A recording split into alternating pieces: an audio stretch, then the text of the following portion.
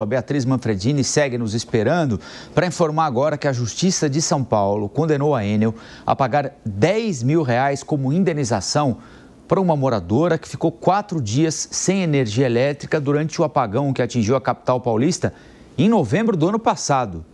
A Beatriz vai dar os detalhes para a gente, né, Beatriz?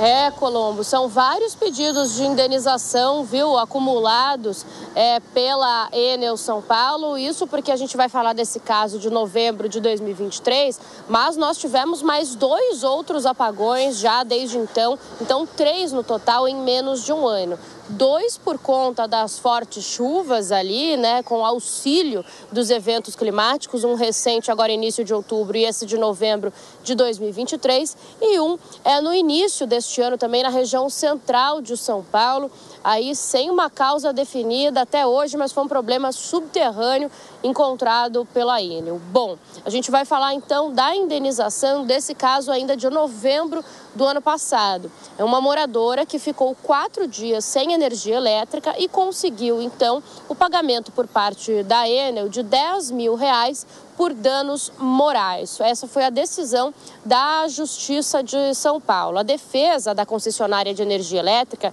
tentou recorrer, dizendo que não tinha culpa, já que é, a luz, a energia elétrica, acabou por conta dos eventos climáticos extremos. Mas a Justiça de São Paulo rejeitou esse pedido da defesa e disse o seguinte: olha, que a possibilidade de variação de tensão nas redes de energia elétrica ou suspensão do fornecimento do serviço, mesmo que quando oriunda de eventos naturais, está englobado pelo risco da atividade desenvolvida pela empresa. Ou seja, na prática, a justiça está dizendo que a Enel, quando assume um contrato de concessão, ela está é, sujeita a riscos desse tipo, inclusive de eventos naturais. Então, tem que arcar com a situação, é, retomar o serviço, né? E no caso, então, ressarcir essa cliente. De acordo com o Tribunal de Justiça de São Paulo, são cerca de 5 mil pedidos de indenização é, na Enel por conta do apagão, esse apagão de novembro de 2023. Na época, de acordo com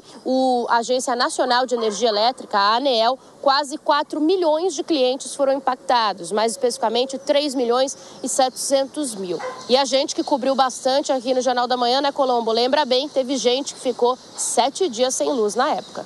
Ah, é? foi aparentemente, inclusive, pior do que esse último apagão, que já foi dramático para muita gente. Né? Uma semana, sete dias sem energia elétrica em determinados bairros de São Paulo e sem informação, sem atendimento nenhum. Beatriz Manfredini, ao vivo, direto de São Paulo.